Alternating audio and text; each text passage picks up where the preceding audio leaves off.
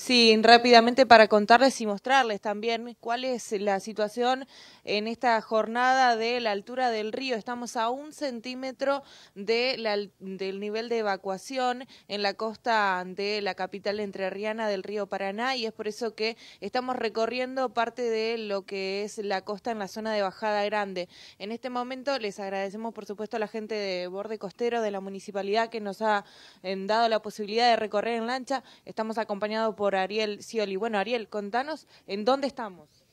Estamos en la zona de, de Bajada Grande. Eh, aquí está, esta es la zona de los pescadores. La mayoría, la mayoría se ha trasladado a otro lugar más alto o están viviendo en la parte de arriba pues ya tienen todas las aguas adentro. Estamos viendo justamente algunas de las viviendas que eh, se encuentran con el agua ya eh, adentro de las casas. Algunos han decidido ya deshabitar sus viviendas y eh, resguardar también todas sus pertenencias. Otros eh, todavía están aguardando también saber cómo va a estar avanzando el río, según lo que está indicando el informe de prefectura en esta jornada. Es un estado que se encuentra en estado estacionario, el río en Paraná, pero según lo que nos comentaba Ariel, en los últimos días se sintió, se vio que creció el río, ¿no es cierto? Sí, señor ha seguido creciendo el río. Su superficie está dando que está estable, pero se nota que sigue creciendo. ¿Ustedes funcionan como un nexo para los vecinos también para poder colaborar y ayudarlos? Y sí, en estos momentos sí.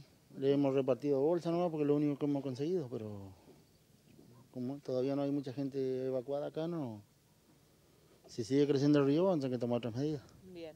Bueno, Ariel, eh, vamos a seguir recorriendo. Rodolfo, sabemos que tienen muy poco tiempo, así que los mm, dejamos, pero nosotros vamos a seguir recorriendo también aquí la costa del río Paraná, en la zona de Bajada Grande, para conocer un poco más de cerca cómo se encuentran las viviendas ribereñas eh, en el día de hoy, estando a un centímetro del nivel de evacuación. Eli, seguramente en el programa Media Mañana vas a continuar con todas las novedades desde allí, así que lo invitamos a la gente a que siga aprendido con la pantalla del 11, ¿te parece? Bien, muchísimas gracias. Hasta luego. Hasta luego.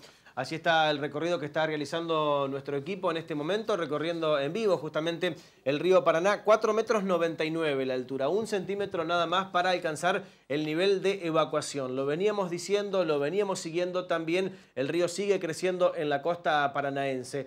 Eh, obviamente generando algunas complicaciones también para la gente que vive en la zona ribereña. Luego, en la media mañana también van a tener todas las novedades que llegarán desde el trabajo en vivo de nuestro equipo de exteriores. Esto es lo que está ocurriendo en este preciso momento.